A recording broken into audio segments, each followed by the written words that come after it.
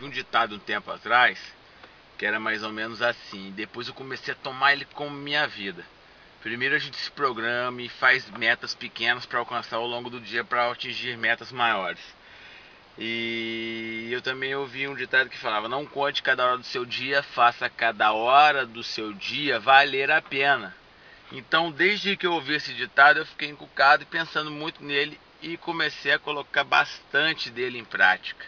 Eu não fico contando cada hora do meu dia, meu dia é corrido. Eu trabalho das 6 da manhã às 10 da noite. Eu tenho poucos intervalos e os poucos intervalos que eu tenho, geralmente eu uso para malhar. Eu leio dentro da academia, às vezes eu vou ao banheiro, tô lendo.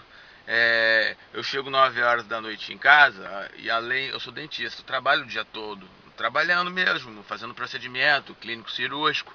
E além disso, eu ainda passo, quando eu estou indo de um, trajeto de trabalho a outro, eu passo às vezes na frente de uma casa e vejo um imóvel, então eu tenho já um, uma proposta do imóvel, que é aquela, é, aquela técnica que eu ensinei sobre compra e venda, compra por uma prestígio e venda é, mais barato que o concorrente, algo de qualidade. Então eu ofereço proposta no meio do caminho. Eu chego em casa de noite ou no meio, às vezes eu faço, é, eu gravo um vídeo, por exemplo, hoje eu estou gravando de manhã cedo. É, também o que, que eu faço? Eu pego e vou ver relatório financeiro quando dá tempo. Eu estou aqui, ó, hoje aprendendo análise fundamentalista. É, mês que vem eu estou programado para poder fazer uma análise por dia. Não é fazer tudo de uma vez, porque senão você desanima.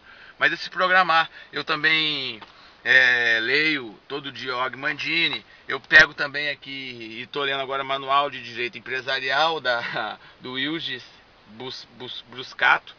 Eu estou lendo 25 páginas, então eu coloco pequenas metas para que eu possa atingir e assim me cobrar ao longo do dia. Ainda mando três e-mails para forças de venda para poder assistir meus vídeos, que tem que fazer propaganda. Vejo as palavras-chave, é...